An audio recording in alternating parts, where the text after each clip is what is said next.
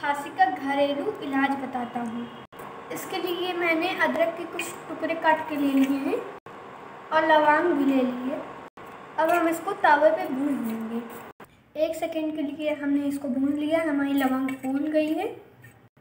अब हमने इसको कूट लिया है तो इसको हम शहद में डाल देंगे। शहद पे हम अभी थोड़ा सा काला नमक डालेंगे। लौंग के चूरू को अब हम शहद में डालेंगे। अब हम इसको अच्छे से मिक्स कर देंगे।